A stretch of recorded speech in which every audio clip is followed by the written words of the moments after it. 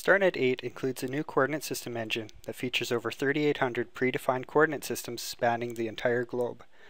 If you're working on a grid-based project, like the Tutorial 4 Grid 3D project, the project's coordinate systems can be set by going to the Project Options on the Adjustment tab. You can see that this project is set to California NAD 83 State Plains Zone 3.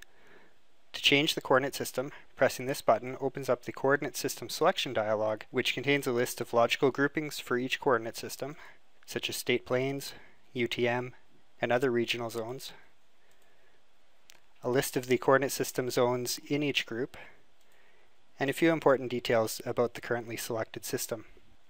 To view additional details, we can close this dialog and use the Coordinate System Details button this shows us the ellipsoid parameters, datum transformation parameters, and projection parameters. If necessary, you can also use the Create Custom System button to define your own custom parameters. While custom zones could be created in previous versions, StarNet 8 now supports defining datum transformations and more projection types than ever before.